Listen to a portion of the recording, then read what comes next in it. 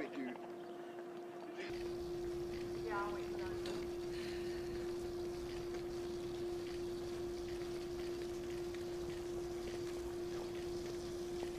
Line her right up with the other one.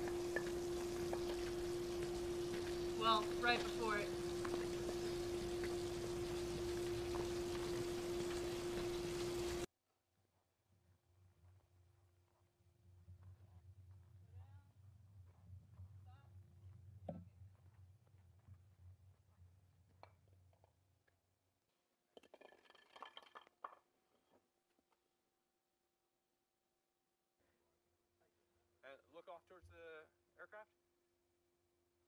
back.